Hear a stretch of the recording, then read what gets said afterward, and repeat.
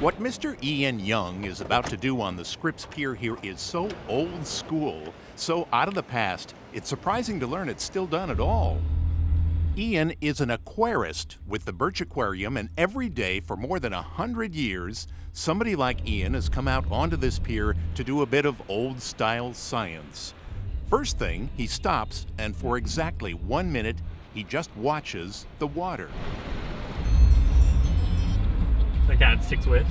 Six waves. Okay, he'll make a note of that. On now to a building near the end of the pier, which from all the probes and antennas on it looks completely suited to the 21st century. But what he'll do today is definitely, well, retro. There's not many studies out there that have been doing it for about 100 years like we have. That's right. Ian could have been standing on this pier preparing to do the exact same thing a hundred years ago.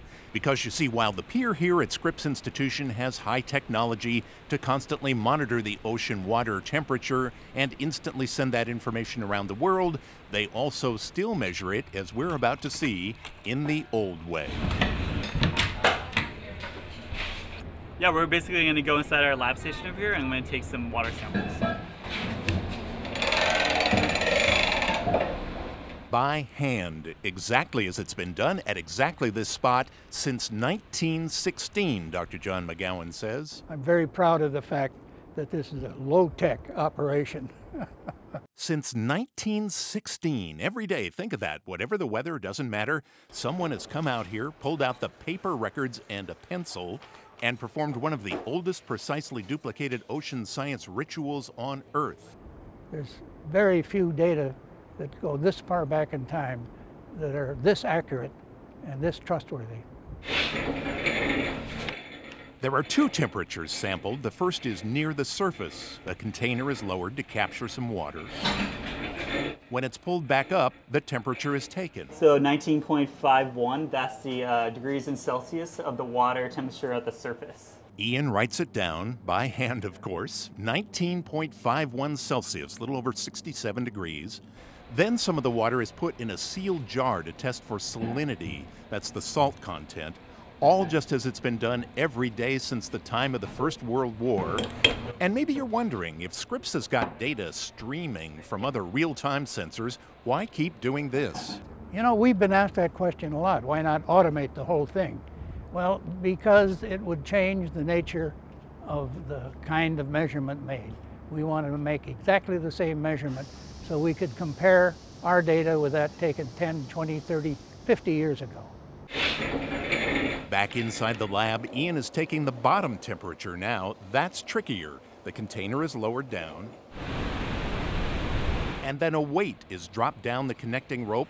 The weight triggers the container to close, and in the process, some bottom water is captured.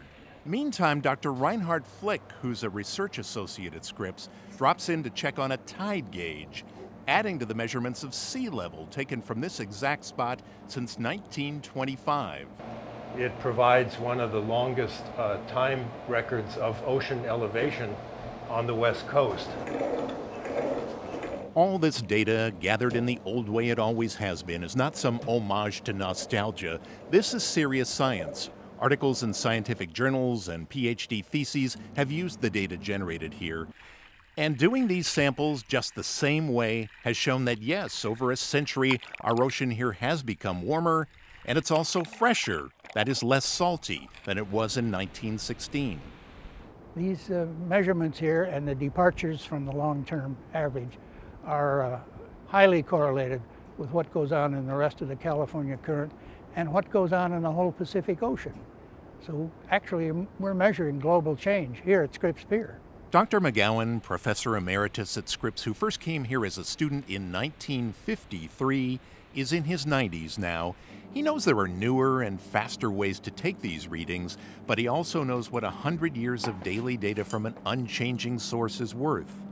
More than a century of the staff here doing the science in the same old school way.